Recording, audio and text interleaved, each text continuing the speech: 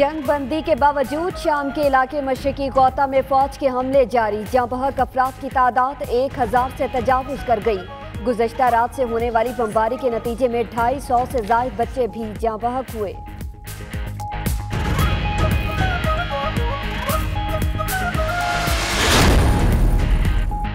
فرانسیسی صدر کا دورہ بھارت سولہ ارب ڈالرز کے معاہدے، دونوں ممالک سیکیورٹی اور دفاعی تعلقات میں مضبوطی پر بھی متفق۔ خفیہ معلومات کے تبادلے کے لیے حکمت عملی تیار کرنے پر بھی اتفاق۔ امریکی ریاست اوہائیو میں اسلحے کے حامیوں کی ریلی۔ منتظمین نے ریلی کو حقوق کے لیے ریلی کا نام دیا۔ ریلی ریاست فلوریڈا میں اسلحہ قوانین سخت کیے جانے کے تناظر میں نکالی گئی۔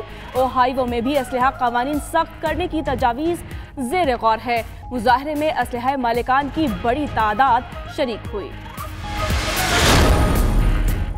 روسی صدر ولادیمیر پیوٹن کہتے ہیں، اقتدار میں رہنے کے لیے آئین میں تبدیلی کا ارادہ نہیں۔ آئین نے کبھی بھی تبدیلی کی اور نہ ہی ان کے مزاج کے مطابق ہے۔ ولادیمیر پیوٹن کا چینی صدر شی جن پنگ کی طرح اقتدار پر براجمان رہنے سے متعلق سوال کا جواب۔ امریکی ٹی وی کو انٹرویو۔ روہنگیا مسلمانوں کے خلاف مذہبی جذبات بھڑکانے والے بدھ مذہبی رہنما کو ایک بار پھر کھلی چھٹی۔ شدت پسند بدھ مذہبی رہنما، آشین واراتھوں پر آئے تقریر اور تبلیغ کی پابندی ختم۔ میامار حکومت نے مذہبی رہنما پر مسلمانوں کے خلاف نفرت پھیلانے کے جرم میں پابندی عائد کی تھی۔ عالمی میڈیا نے آشین واراتھوں کو بدھ شدت پسندوں کی دہشت گرد کا چہرہ کر لیبیا کے ساحلی علاقے میں سینکڑوں تارکین وطن کو ڈوبنے سے بچا لیا گیا۔ دو کشتیوں پر سوار تارکین اٹلی میں داخل ہونے کی کوشش کر رہے تھے۔ ایک میں ایک سو پچیس، دوسری میں ایک سو بارہ افراد سوار تھے۔ گنجائش سے زیادہ مسافر ہونے پر ایک کشتی ڈوب گئی۔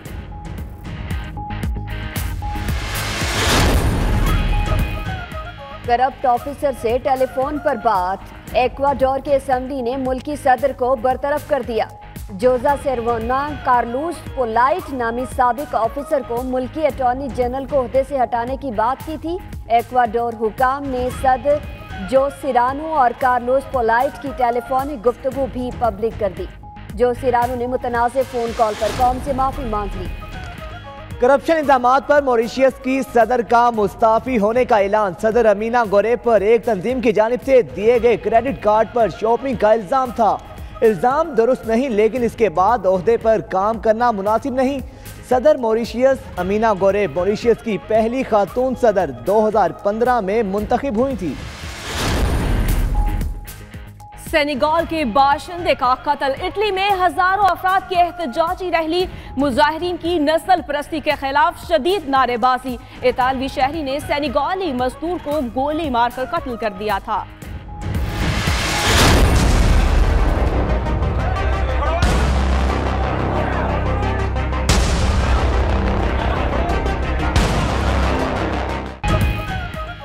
خواجہ آصف پر اپنے ہی حلقے میں ورکرز کنونشن میں کارکنوں سے خطاب کے دوران سیاہی پھینک دی گئی۔ سیکیورٹی اہلکاروں کا فوری ایکشن۔ فیض رسول نامی ملزم کو دھر لیا۔ واقعے کے بعد بھی وزیر خارجہ نے اپنا خطاب جاری رکھا۔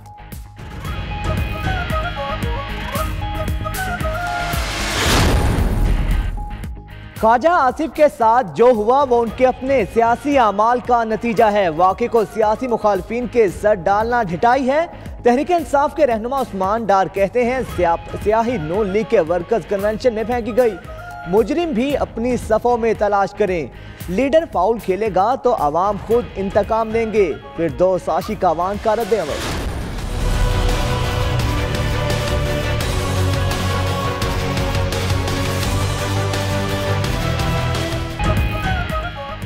پیرس میں پی آئی اے کے فضائی میزبان سے ہیروئن کی برآمدگی۔ ملزم گلزار کی نشاندہی پر عامر نامی شخص بھی گرفتار۔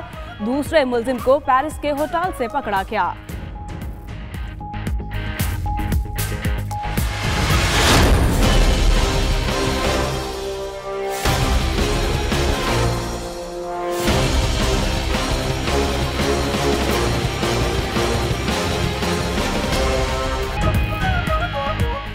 بڑی جماعتیں مشورہ کرتی رہ گئی بلوچستان کے آزاد گروپ نے بڑی چال چل دی۔ چیئرمین سینٹ کے لیے صادق سنجرانی کا نام پیش۔ تحریک انصاف نے بھی حمایت کر دی۔ صوبے سے نو منتخب ارکان کی پی ٹی آئی قیادت سے ملاقات۔ سنجرانی کو پچپن سے ستاون ووٹ ملنے کی توقع کا اظہار۔ اندرونی کہانی سامنے آ گئی۔ تحریک انصاف ڈپٹی چیئرمین کے لیے آزاد پینل کے نامزد کردہ پیپلز پارٹی سمیت کسی بھی پارٹی کے امیدوار کو ووٹ دینے پر بھی رضامند نہیں۔ چیئرمین ڈیپٹی چیئرمین سینٹ کا انتخاب، پیپلز پارٹی کا اپنا پینل لانے کا فیصلہ۔ امیدوار کون ہوگا؟ فیصلے کے لیے اجلاس آج طلب۔ بڑے جیالوں کا عہدہ بلوچستان کو نہ دینے، خود مقابلے میں حصہ لینے کا مشورہ۔ حتمی فیصلہ آج ہوگا۔ سینئر رہنماؤں کو اسلام آباد طلب کر لیا گیا۔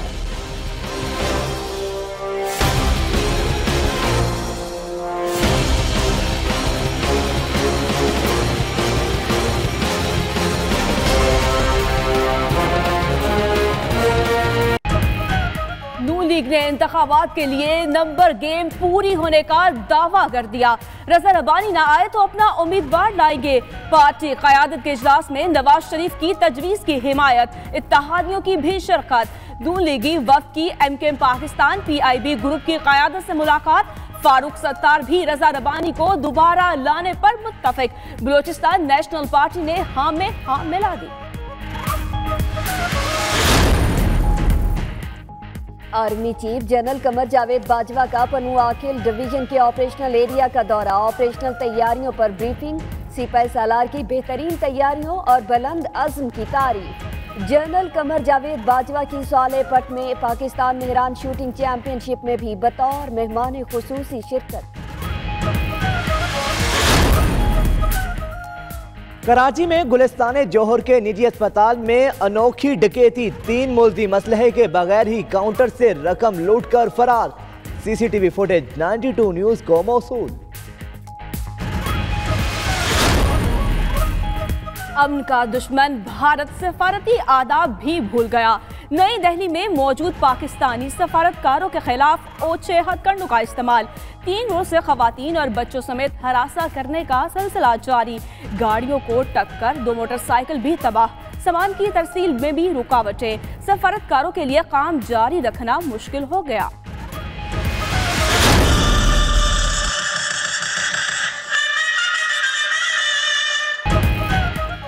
رحیم یار خان میں تین روزہ رنگا رنگ جشن بہارا رنگ برنگے پھولوں نے فضا میں رنگ بھر دیے۔ میوزیکل شو کے ساتھ تفریح کے دیگر پروگرام بھی پیش کیے گئے۔